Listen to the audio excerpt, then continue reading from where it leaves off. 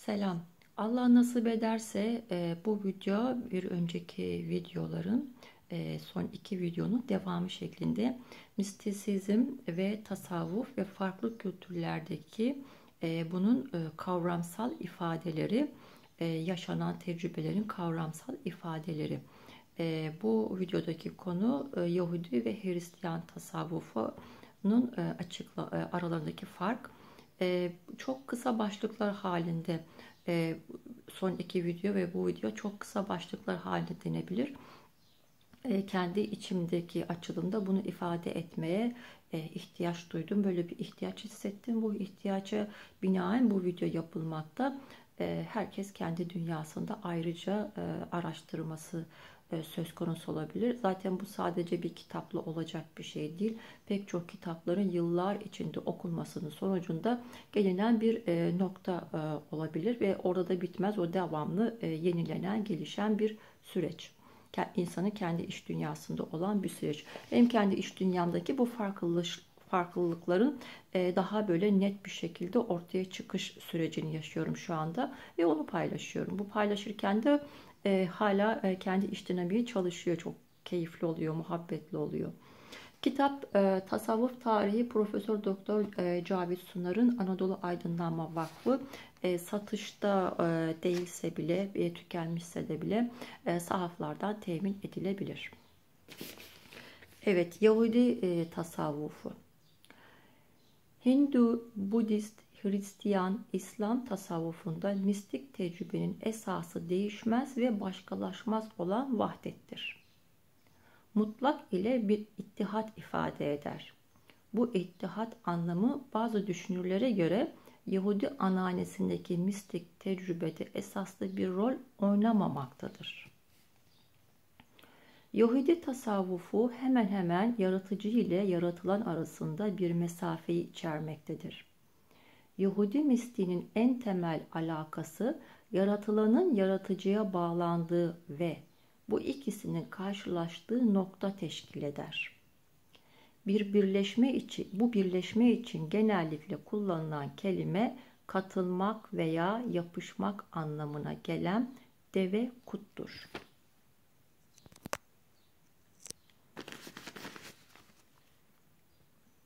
Bir de taht veya kürsü, arş tasavvufu diye adlanan bir Yahudi tasavvuf şekli vardır ki bu tasavvuf Ezekiel'de tasvip edildiğine göre Allah'ın taht, kürsü üzerine görünüşünün idrakından ibarettir.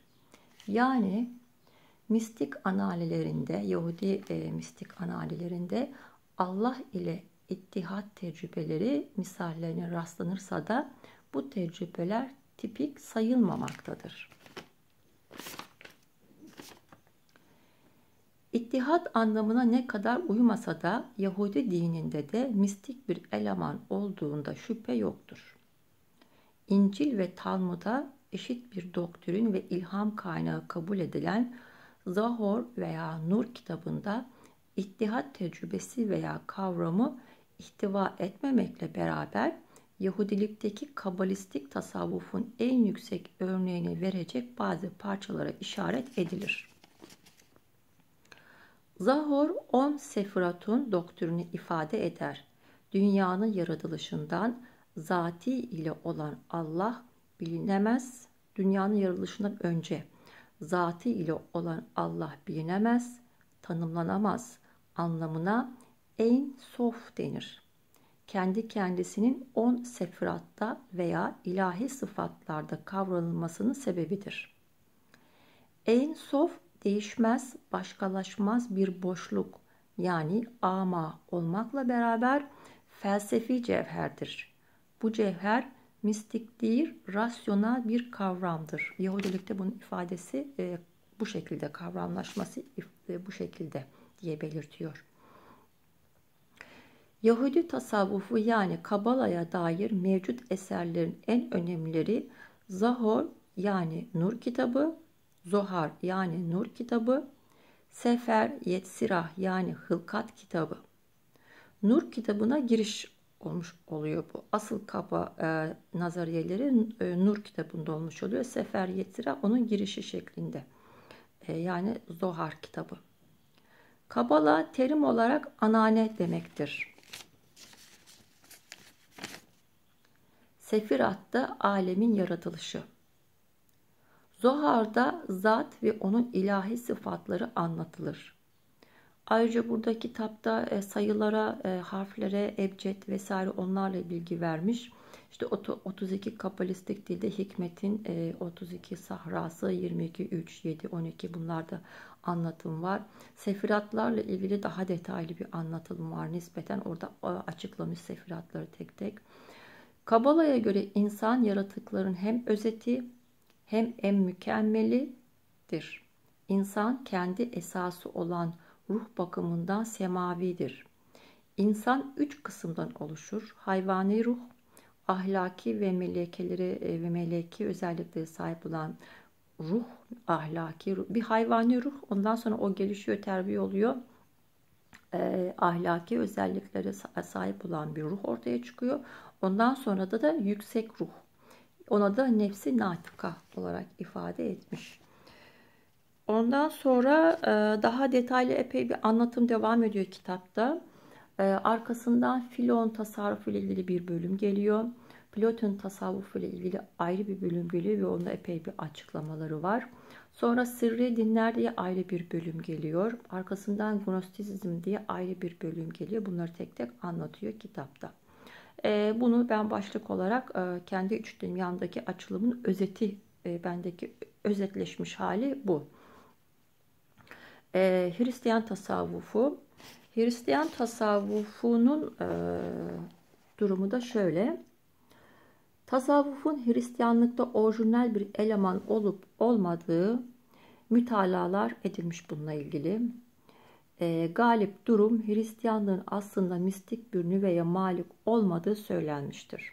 Bu görüşe göre İsa'yı bir mistik olarak kabul ettirecek hiçbir makul sebep yoktur. İlk Üç İncil'de Matta, Luka, Markus'ta bu hususta hiçbir ima yoktur. Fakat St. John'un İncil'inde bazı mistik edalı tabirler görülmektedir. Mesela o Allah ile ihtidattan söz etmektedir. Ben ve benim pederim bir ve aynıdır. Ben pederin içindeyim ve peder benim içinde gibi.'' Ancak bu ifadelerin herhangi birine ilk üç İncil'de rastlanamamaktadır. Bundan ötürü de bunların İsa tarafından değil de dördüncü İncil yazarı tarafından söylendiği pek muhtemeldir. Buna rağmen dördüncü İncil yazarını bile gerçek bir mistik saymak güçtür. Onun bazı mistik tabirlerden haberdar olduğu, bazı mistik tecrübelere sahip olduğu söz götürmez.'' Biz onda Upanishatlarda, Platin'de, Eckhart'ta, Saint Teresa'da gördüğümüz gibi mistik şuurun herhangi özel bir mufassal tasvirini göremiyoruz. Hristiyan tasavvufunu ne İsa ile ne de dördüncü İncil yazarıyla bağlaş, başlatmak doğrudur. Hristiyan mistismini Saint Paul ile de başlatmak mümkün değildir.'' diye devam ediyor. Yani burada e, yanlış anlaşılma olmaması için yani o Hazreti İsa'nın, e, Saint Paul'un, işte e, havarilerin e, yaşadıkları, e, onlar onu yaşamadı falan öyle bir şey bahsedilmiyor. O onlar yaşadıkları tamam. E, mistizizm e, kavramlaşma hali.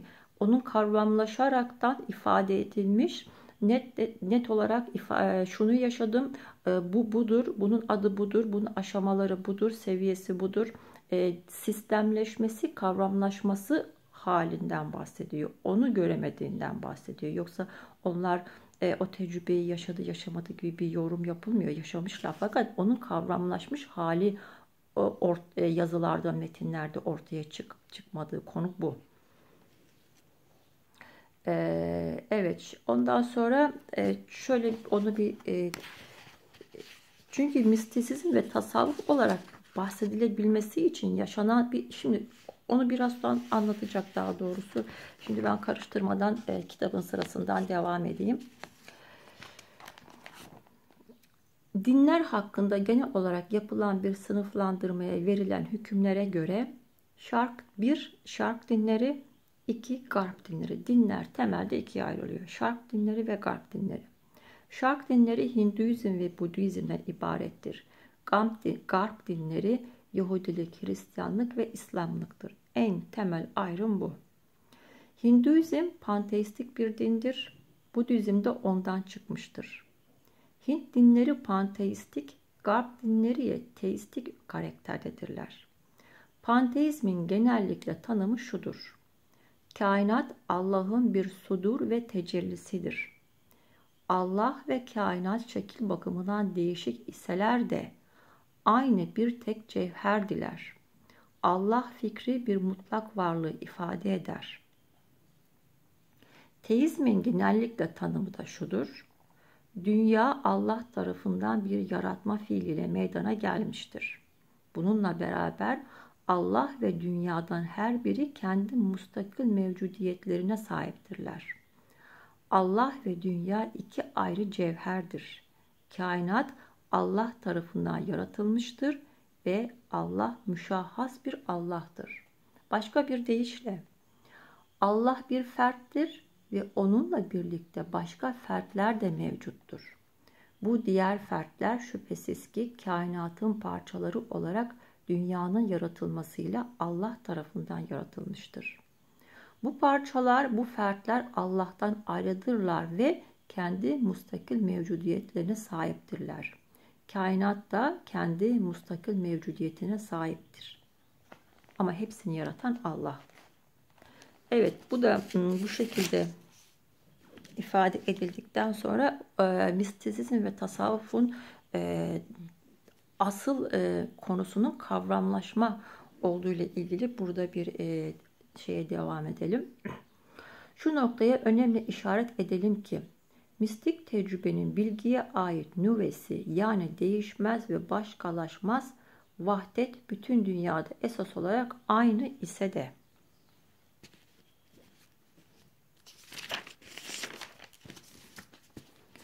Kültürden kültüre değişen ve birbirine aykırı kültürel mistisizm tiplerinin doğmasına sebep olan iki faktör vardır. 1.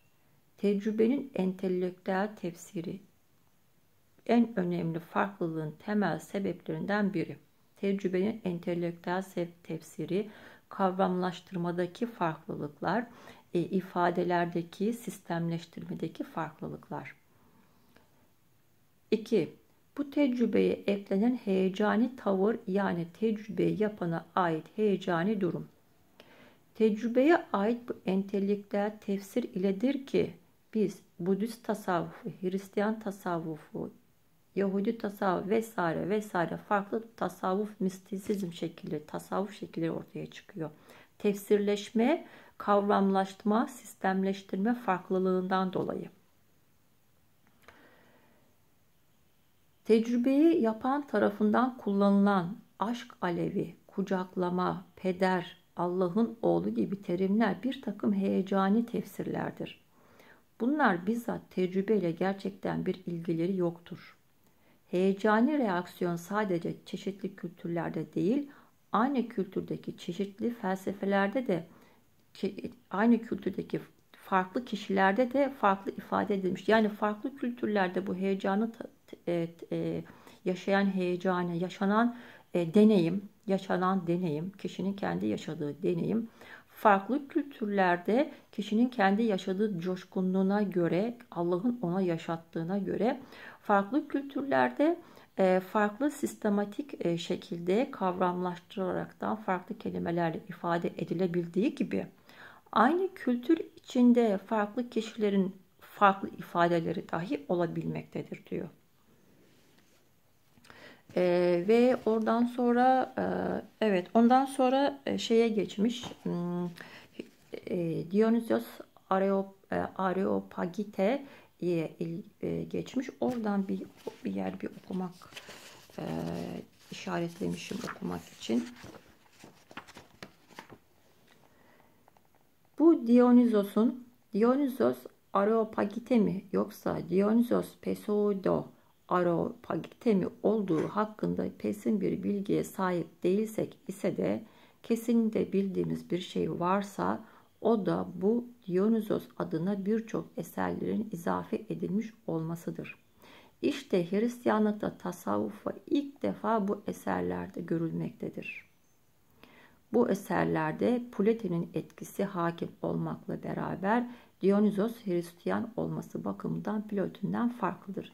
Yani Hristiyanlıktaki tasavvufu e, mistik durum yani sistemleştirme, kavramlaştırma, deneyimin sistematik kavramlaşmış bir şekilde e, tefsiri açıklanması ilk kez e, Dionysios Areopagite'de görülmektedir diyor. Onun arkasından Saint Augustinus'la ilgili bir ayrı bir bölüm var ve ondan sonra e, Hristiyanlıktaki bazı kişilerin e, yaşadıkları deneyimlerinin e, kendi ifadeleriyle tefsirleşmiş bölümlerinden alıntılar yapılmış. Kitap o şekilde devam ediyor. Bu videoda e, bakayım orada başka bir şey işaretlemiş miyim?